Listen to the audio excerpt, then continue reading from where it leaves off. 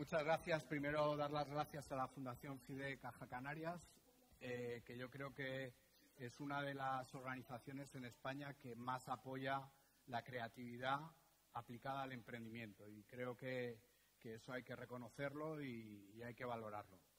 No sé si habéis ido alguna vez alguna, o habéis visto por la tele alguna prueba de atletismo, que cuando un saltador va a saltar longitud, triple salto o, altura, pide el apoyo del público. No sé si lo habéis visto.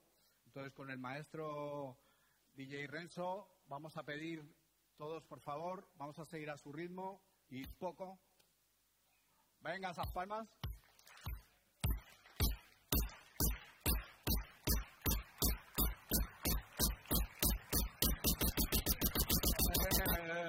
Muy bien, muchas gracias. Un aplauso para el maestro.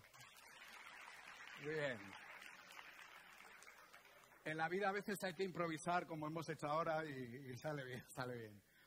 Lo que os voy a pedir con esta ponencia es que deis un salto. Para mí la creatividad es dar un salto no solo físico, sino también mental. Y con los emprendedores y emprendedoras con las que trabajo, muchas veces les cuesta, les da miedo dar ese salto. Entonces, os invito a dar ese salto. Pero antes de dar ese salto, os quiero hacer esta pregunta. ¿Cuál es vuestro superpoder creativo? Por favor, levantar la mano aquellos y aquellas que os haya costado responder a la pregunta. ¿Vale? A la mayoría nos cuesta responder a la pregunta, aunque es un elemento fundamental a la hora de emprender. Cuando trabajo con emprendedores y emprendedoras, es la primera pregunta que les hago. ¿Cuál es tu superpoder creativo? Porque puede ser la base de tu éxito empresarial. Y posiblemente a la hora de escuchar superpoder creativo pensáis en emprendedores de Silicon Valley, en grandes emprendedores, pero os voy a poner algunos ejemplos que os van a sorprender quizás. Ella se llama Jennifer Barreto. Ella es de un pueblo que me imagino que muchos conocéis, que es Icot de los Vinos, aquí en Tenerife, y ella desde pequeña estaba con su madre y su abuela eh, viendo lo que cosían, los patrones que hacían y se dio cuenta que su superpoder era la costura. Decidió dar el salto y estudiar FP, luego dio un salto mayor y fue a estudiar a Madrid, un máster relacionado con la moda, y ahora en enero acaba de poner en marcha su negocio. Ella se dio cuenta no solo que tenía ese superpoder relacionado con la moda, sino que además quería que los demás lo tuvieran. ¿Vale? Por lo tanto, es muy importante darnos cuenta de cuál es ese superpoder. La creatividad aplicada al emprendimiento tiene que ver con generar ideas nuevas que aportan un valor diferencial. Y ese valor diferencial no solo tiene que ser económico, puede ser social, medioambiental o en el ámbito que vosotros y vosotras decidáis. La segunda cuestión, después de preguntar cuál es su superpoder, es qué problema o necesidad resuelven. Y ese problema y necesidad que resolvéis no solo tiene que ver con vosotros y vosotras, sino tiene que ver con otros. Y es algo que nos cuesta también bastante.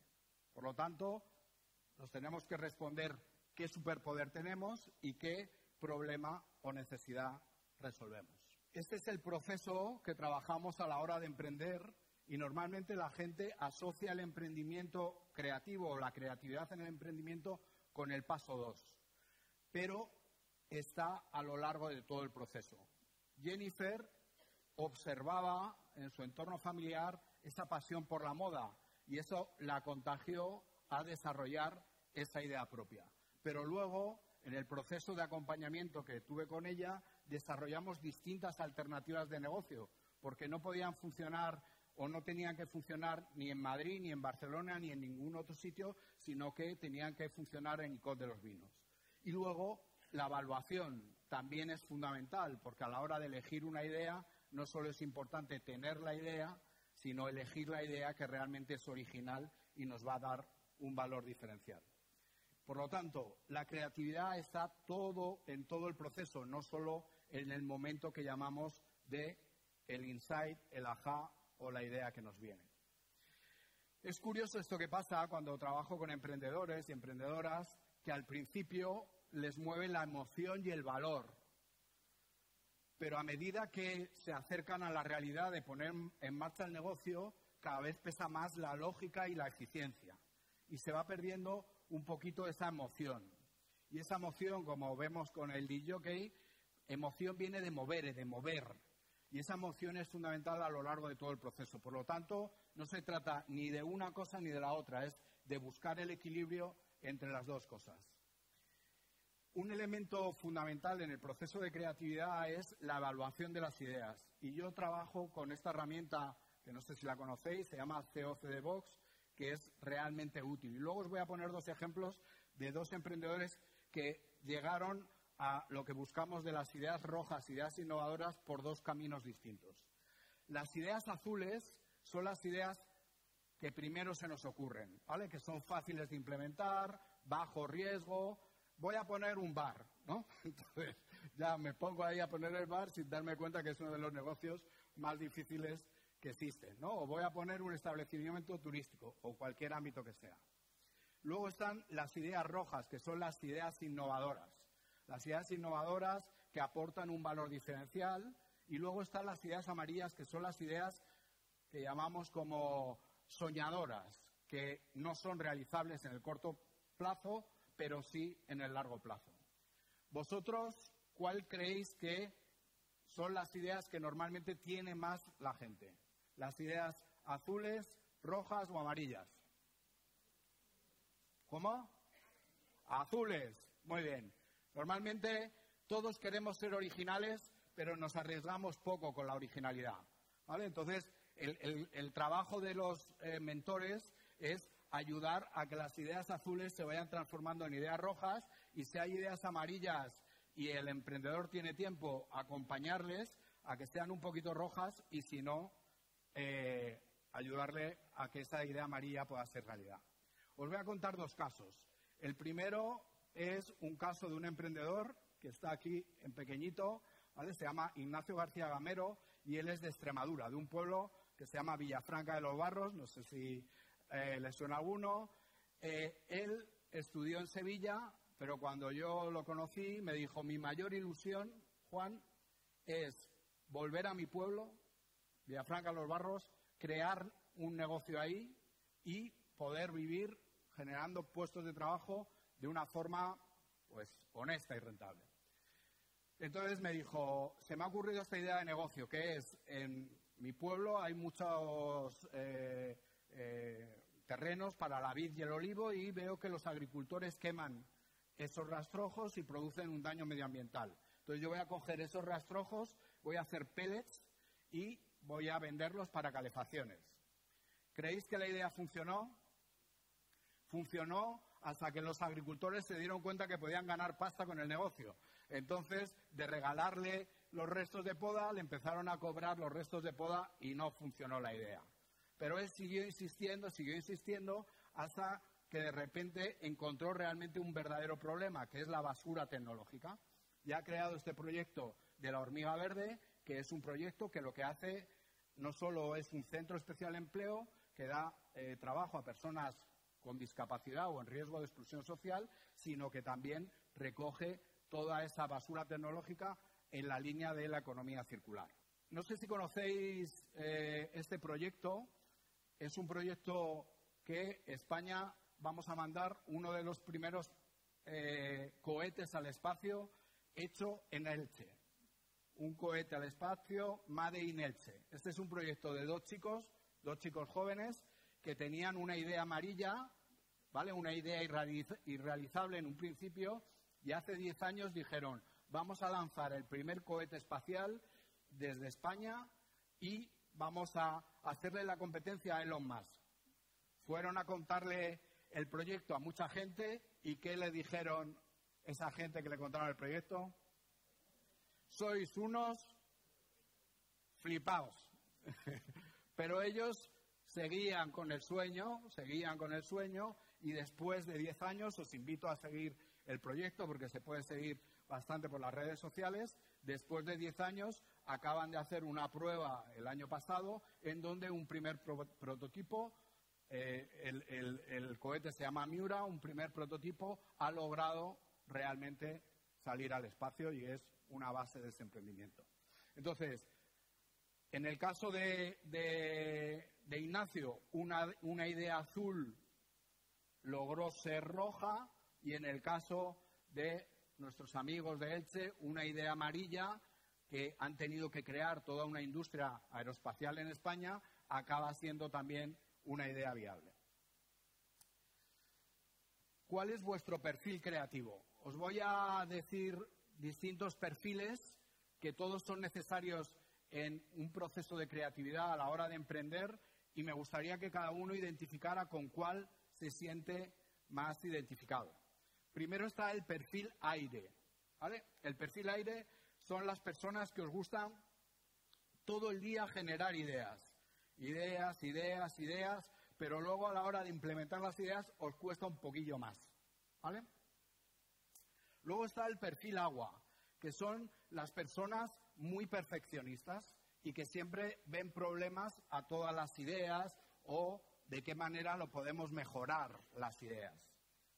Luego está el perfil tierra, que son las personas que les gusta hacer los proyectos.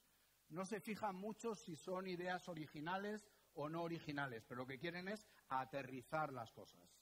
Y luego están las personas fuego. Las personas fuego que son las que les gusta la acción, el vender, el poner las cosas en marcha. Levantar la mano aquellos que os habéis identificado con el perfil aire.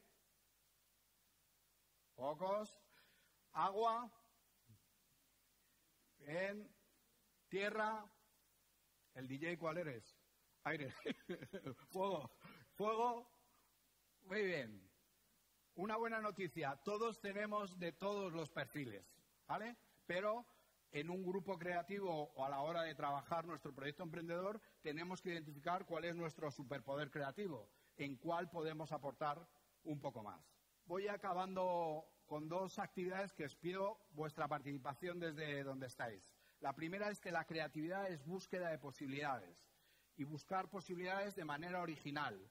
Por lo tanto, yo os voy a poner una imagen ahora y quiero que en alto, todos a la vez, digáis qué cosas podríais hacer con la imagen que va a aparecer en la pantalla. ¿De acuerdo? En alto, ¿eh? ¿Bien? ¿Preparados? ¿Listos? Pueden ser cosas de cualquier ámbito, ¿vale? Preparados, pero en alto. ¿Listos? Adelante. Amarrarme los pantalones, más. Hacer un torniquete, muy bueno, más pendientes, accesorio de gimnasio, un logo para una empresa muy bueno por ahí. Vale, posiblemente a algunos se le ha ocurrido un uso que ha pensado, uy, esto no lo digo, a ver qué van a pensar de mí. ¿Vale? Eso. Por las risillas eh, veo que, que ha ocurrido. ¿Qué es lo que tenemos que hacer en los procesos de emprendimiento? No quedarnos ninguna idea. No quedarnos ninguna idea. Luego ya iremos cocinando las ideas, pero en un principio no quedarnos ninguna idea en la cabeza. Otro concepto, creatividad es igual a complejidad, a entender la complejidad. Habéis oído hablar de la inteligencia artificial, ¿no? Habéis oído hablar, bueno, ya estamos un poco saturados de la inteligencia artificial y acaba de empezar, pero lleva 10 años o 20 años ya desarrollándose. Eh, hemos oído hablar que nos va a quitar puestos de trabajo, que muchas cosas. Yo os voy a dar una buena noticia. La inteligencia artificial puede procesar el pasado, pero de momento no puede imaginar el futuro. Los únicos que podéis imaginar el futuro sois vosotras y vosotros. Por lo tanto, la inteligencia artificial puede ser una herramienta y os invito a conocerla cuanto antes posible, no para hacer los trabajos así tal cual que os piden en, eh, en el instituto, pero es una herramienta que la tenemos que utilizar. Entonces, cuando aparece la inteligencia artificial, eh, de repente todo el mundo en las grandes empresas está súper preocupado, no saben cómo abordarlo, la gente piensa, me van a quitar mi puesto de trabajo, y yo lo que digo es, intenta entender esa inteligencia artificial y darle sentido. Ahora os voy a poner una imagen que realmente no es nada concreto y quiero que me digáis igual en ese brainstorming colectivo que estamos haciendo qué cosas concretas os sugiere esta imagen. ¿Vale? ¿Preparados? ¿Preparadas? ¿Listas? Adelante. Carro de la compra. La cara de un búho. Un coche por delante. Tomar una decisión, muy bien. Un concepto abstracto, muy bien. Estamos cerca de los carnavales. Una máscara no, no, nos sugiere. ¿Vale? Entonces, este es otro ejercicio que hacemos en los programas. Ayudarles a darle sentido a la complejidad y fundamentalmente no tener miedo a la complejidad. Y la capacidad creativa nos ayuda a darle sentido, ¿vale? A darle sentido a esa complejidad. Y ya para acabar, ¿cómo podéis mejorar vuestro proceso creativo para emprender? Lo primero, trabajar la fluidez. ¿Y qué es la fluidez? La fluidez es la cantidad de ideas que podéis desarrollar en un tiempo determinado. No os quedéis con la primera idea que os venga a la cabeza. Porque si ahora yo os digo que os imaginéis una casa, lo más seguro que la primera casa que os vais a imaginar va a ser la de los dos techos, la, chimenea, el caminito y el sol. ¿Vale? Por lo tanto, yo os pido buscar más alternativas. Flexibilidad. Intentar aplicar la creatividad en todos vuestros ámbitos de la vida. ¿Vale? No solo en el emprendimiento, sino en vuestras aficiones, porque es muy probable que el DJ, nuestro amigo, lo que ha sido en un principio un ocio, una afición, se ha convertido en negocio, ¿no?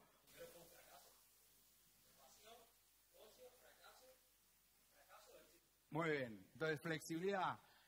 Del ocio muchas veces sale el negocio. Si yo aplico, y esto os lo recomiendo cuando tengáis un problema, hacer una actividad de ocio, va a ser muy habitual que os venga la solución a un problema que tenéis en vuestro negocio, en vuestros estudios o en vuestra vida. Originalidad. Para tener un estilo propio, ¿no? y esto queda muy claro en las profesiones artísticas, hay que buscar la originalidad. Muchas veces queremos ser originales en el mundo entero, pero a veces tenemos que buscar nuestra originalidad en nuestro entorno, en nuestro ecosistema, y poco a poco vamos descubriendo cómo podemos ser diferentes a lo que hay. Porque nos gusta ser diferentes, pero tenemos una tendencia a seguir la moda. Entonces, buscar la originalidad. Y finalmente, atreveros a dar el salto. Muchas gracias.